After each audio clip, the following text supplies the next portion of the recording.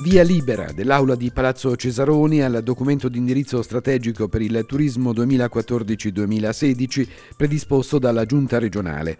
Ai 17 voti della maggioranza si sono contrapposti 4 voti contrari e 5 astenuti dell'opposizione.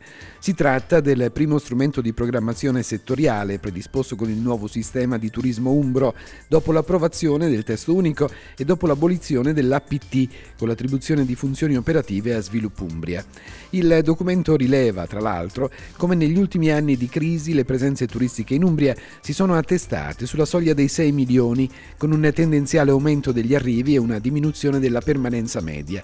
Nei prossimi anni si punterà su sviluppo tecnologico e innovazione, nuovo portale turistico, sistema delle app, qualità ambientale e qualità delle strutture dell'enogastronomia. Nel documento vengono indicate le azioni che la Regione intende portare avanti circa la governance, la definizione di ruoli tra i livelli istituzionali, specie per quanto riguarda la promozione e la realizzazione dell'osservatorio regionale, la qualificazione delle ricettività, l'offerta dei prodotti, la qualità dell'accoglienza, trasporti e infrastrutture, formazione e competenze competenze, rafforzamento del brand Umbria e implementazione della strategia digitale, concentrazione delle azioni promozionali e di comunicazione su specifici mercati, rafforzamento della promozione integrata.